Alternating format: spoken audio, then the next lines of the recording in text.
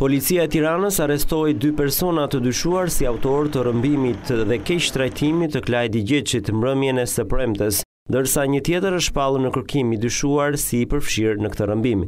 Klejdi Yzeiraj, njëzet e shtatë vjeç, dhe Martin Seferi, tridhjetë e një vjeç, Janë dy personat e dyshuar si të përfshirë në rrëmbim, ndërsa në kërkim është shpallur personi i tretë me iniciale EY tridhjetë e një vjeç.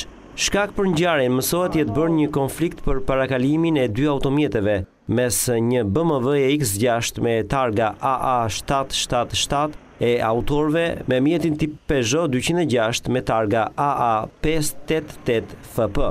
Ngjarja ndodhi rreth orës njëzet e një e tridhjetë të mbrëmjes së të premtes në rrugën e Dibrës, pranë ish-farmacisë numër dhjetë në Tiranë.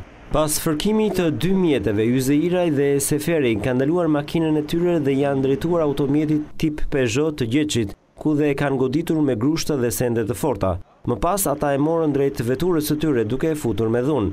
Fillimisht policia identifikoi pjesërisht targën e makinës X gjashtë si AA shtatë shtatë shtatë, ndërkohë që mungonin dy gërmat e fundit të makinës. Tre personat rrëmbyen Gjeçin dhe janë larguar në drejtim të Malit të Dajtit. Menjëherë pas ngjarjes, Drejtoria e Policisë së Tiranës ka angazhuar forcat e policisë në terren, duke ngritur postoblloqe përgjatë rrugës në drejtim të Malit të Dajtit.